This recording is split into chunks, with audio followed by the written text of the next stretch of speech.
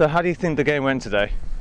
Yeah, it went well. We were we played Theale Royal last week. Disappointing performance. We scraped a three-two victory after being two goals behind. But today the boys came out uh, real determination. Um, their energy was fantastic.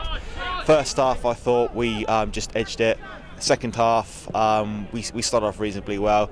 But when we got the first goal, we were just um, it was total domination. So really pleased with the way we finished the game we, we've got a pretty good record against Woodcote, but they always give us a tough game, um, no matter where it's home or away. They're always a tough opponent. They're very dangerous from set pieces.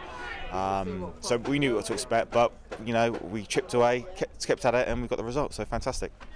What does it mean to this team to finish top this season?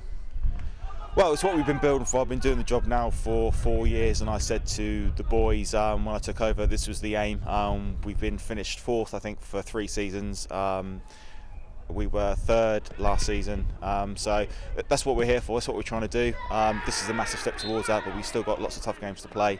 Uh, so it won't be easy, but we've got the potential to do it. The squad's fantastic, so if we keep playing like today, we've got every chance.